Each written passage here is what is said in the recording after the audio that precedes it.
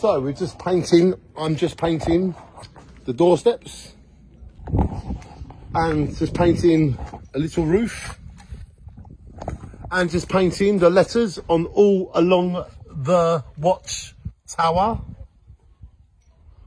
Plus just place the melody sign and the lovely light.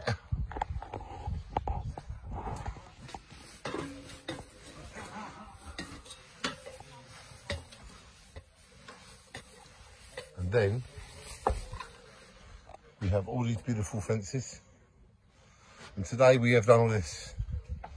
And you can see that the watchtower has been repaired and restored in about four or five days work, which costs around five, six, seven hundred pounds.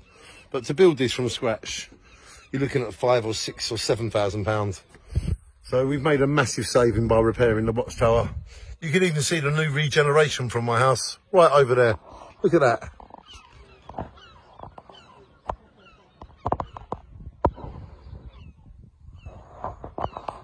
And what you can achieve in a day, you might as well make a film about it and encourage other people to achieve things.